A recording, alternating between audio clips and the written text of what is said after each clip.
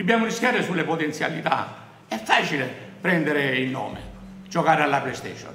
Noi è un esercizio che non possiamo permetterci. Il portiere l'abbiamo preso. I due marcatori non siamo stati all'altezza di prenderli. Non siamo stati all'altezza ancora di prenderli. Ma pensate che noi stiamo sotto l'ombrellone? Abbiamo preso un attaccante, sembra che abbiamo preso, come ho detto già un'altra volta, uno scappato di casa. Abbiamo preso un, un, un, un giocatore che viene da un campionato dove la, quella nazione sta ai mondiali e l'Italia non sta. E già qui il partito degli sfattisti non vale.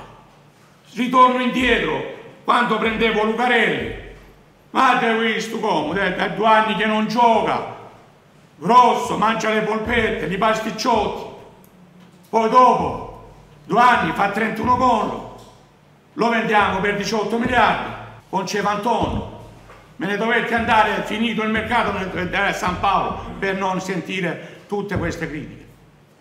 Come ha venduto Bocinov e mo, dopo 30 miliardi, 13 milioni e mezzo di euro, più Valdese, si presenta con Vucinici dello settore giovanile. Altri 20 milioni di euro, altri 19 gol. Sono film che ritornano